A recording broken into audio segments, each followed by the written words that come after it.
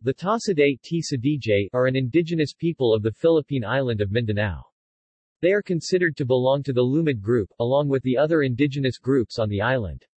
They attracted widespread media attention in 1971, when a journalist of the Manila Associated Press bureau chief reported their discovery, amid apparent Stone Age technology and in complete isolation from the rest of Philippine society. They again attracted attention in the 1980s when some accused the Tasaday living in the jungle and speaking in their dialect as being part of an elaborate hoax, and doubt was raised about their isolation and even about being a separate ethnic group. Further research has tended to support their being a tribe that was isolated until 1971 and that lived as nomadic hunter-gatherers. The Tasaday language is distinct from that of neighboring tribes, and linguists believe it probably split from the adjacent Manobo languages 200 years ago. Background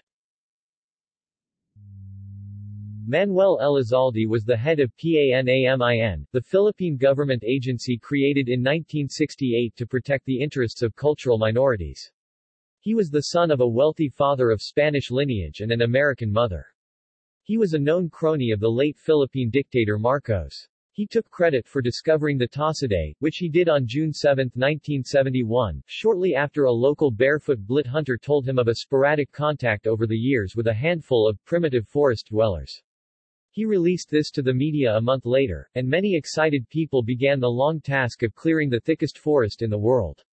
Weeks later, visitors' way was blocked by PANAMIN guards who answered to Elizalde alone and allowed only a select group of the visitors to meet them. Introduction of the Tasaday Elizalde brought the Tasaday to the attention of PANAMIN, which funded all efforts to find, visit, and study the Tasaday. With a small group including Elizalde's bodyguard, helicopter pilot, a doctor, a 19-year-old Yale student named Edith Terry, and local tribesmen for interpreting attempts, Elizalde met the Tasaday in an arranged clearing at the edge of the forest in June 1971.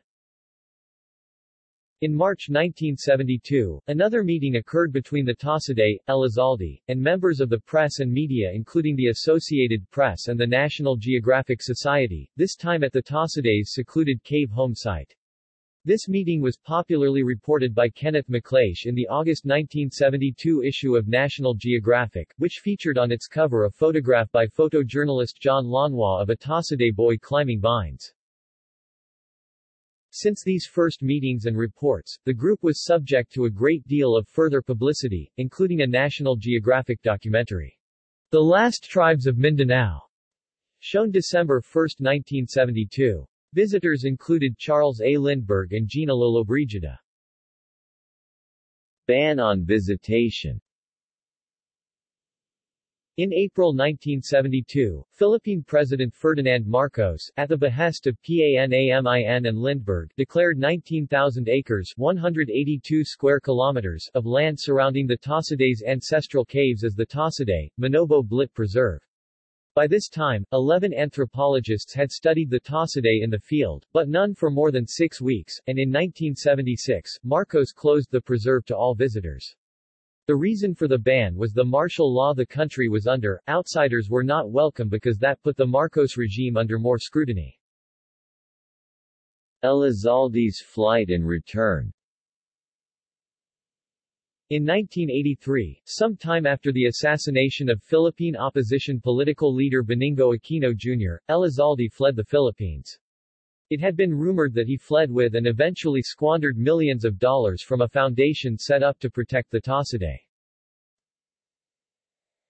Elizalde returned to the Philippines in 1987 and stayed until his death on May 3, 1997, of leukemia. During this time, from 1987 to 1990, Elizalde claimed he'd spent more than 1 million US dollars of Tasaday non-profit funds. During this time, Elizalde also founded the Tasaday Community Care Foundation, or TCCF. Controversy After President Marcos was deposed in 1986, Swiss anthropologist and journalist Oswald Iten, accompanied by Joey Lozano, a journalist from South Cotabato, and Datu Galing Ticao, a member of the T. Oli tried to serve as chief translator, though he did not speak Tasaday, made an unauthorized visit to the Tasaday caves where they spent about two hours with six Tasaday. Upon returning from the forest, Iten and Lozano reported the caves deserted and further claimed the Tasaday were simply members of known local tribes who put on the appearance of living a Stone Age lifestyle under pressure from Elizalde. Many local tribesmen admitted to pretending to be Tasaday in order to gain funds, reputation, and other items. In the mid 1990s, Professor Lawrence A. Reid, U. of Hawaii I, Department of Linguistics, Emeritus, wrote that he spent 10 months with the Tasaday and surrounding linguistic groups 1993 to 1996 and has concluded that they probably were as isolated as they claim, that they were indeed unfamiliar with agriculture, that their language was a different dialect from that spoken by the closest neighboring group, and that there was no hoax perpetrated by the original group that reported their existence. In his paper, Linguistic Archaeology, Tracking Down the Tasaday Language, Reid states that, although he originally thought that an individual Tasaday named Belayem was fabricating words, after a detailed analysis of the linguistic evidence he found that around 300 of Belayem S forms were actually used in Kalaman Valley Manobo languages, a place Belayem had never visited. He also mentions that a similar group was later found and confirmed to be living as hunter-gatherers without contact to other tribes. The Tasaday were likely a separate group living as gatherers deep in the jungle, who were rarely in contact or trade with the neighboring people, but that they were not a Stone Age culture. References External links. Tasaday website Pages at Oregon State about the Tasaday